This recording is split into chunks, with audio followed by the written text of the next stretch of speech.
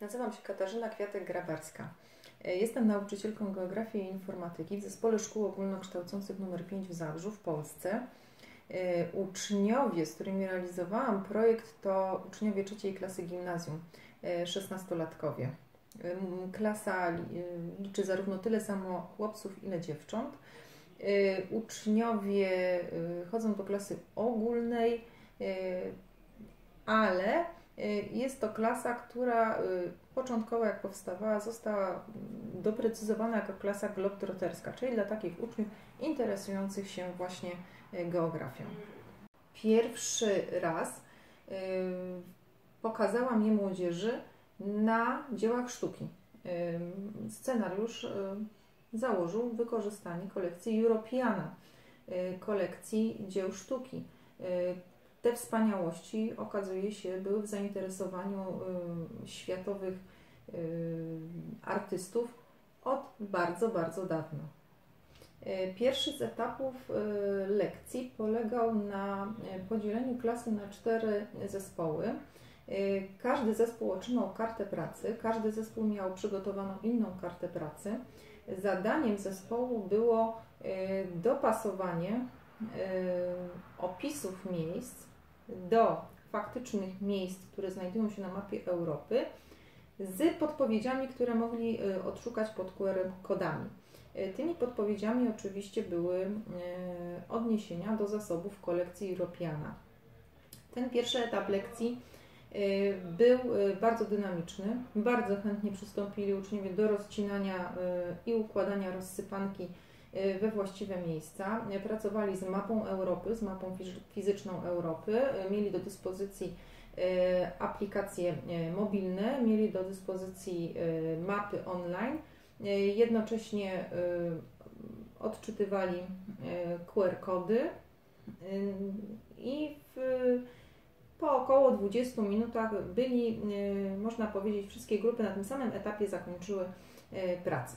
W zadaniu było takie polecenie, aby uczniowie, którzy odczytywali QR-kody, jednocześnie robili screenshoty e, z obrazów, które odsłoniły. E, jakby e, można powiedzieć, więcej czasu wydaje się, że potrzebowali, aniżeli rzeczywiście mieli do dyspozycji. W związku z tym na padlecie zdjęcia się znalazły, aczkolwiek nie wszystkie grupy poradziły sobie z tym, żeby przygotować jeszcze krótki opis. E, quiz rzeczywiście jest świetny. E, pytania, które się znajdowały w quizie, e, były pytaniami, które wcześniej oni już mieli w swoich kartach pracy. Także każda grupa miała równe szanse, z każdej grupy po kilka takich pytań się znalazło w quizie. Quiz ten rzeczywiście budził y, największe zainteresowanie i największym zaangażowaniem do rozwiązywania tego quizu podeszli. W całości quiz, tak jak i inne elementy lekcji, był przeprowadzany w języku angielskim. Lekcję zaplanowałam na 45 minut, ponieważ y, tak mamy y, układane plany lekcji, że jedna lekcja tematyczna to jest 45 minut. Bardzo ciężko jest połączyć dwie jednostki lekcyjne. W związku z tym na 45 minut za, zaplanowałam tą lekcję. I co mogę powiedzieć? Że rzeczywiście y, jest to mało czasu. Jeżeli ma ktoś możliwość wydłużenia lekcji do 90 minut, y, połączenia dwóch jednostek lekcyjnych, to polecam. Y, uczniowie, którzy sprawnie posługują się technologiami informacyjnymi, którzy sprawnie posługują się urządzeniami, językiem obcym, nie będą mieli problemów, poradzą sobie. Natomiast jest to, to niezbędne minimum, które rzeczywiście trzeba na tą lekcję zaplanować. Te 45 minut to jest, e, to jest mało czasu. Wiem, że lekcja uczniom się podobała. Podobała się dlatego, że e, jak określali, e, była lekcją inną. Wykorzystywała dużo różnorodnych metod, narzędzi.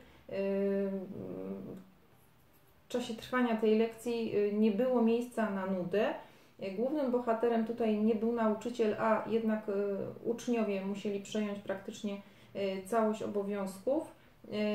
W związku z tym widać było ich zadowolenie. Troszeczkę byli może na początku onieśmieleni tym, że lekcja jest w języku angielskim. Oni uczą się tego języka od szóstego roku życia.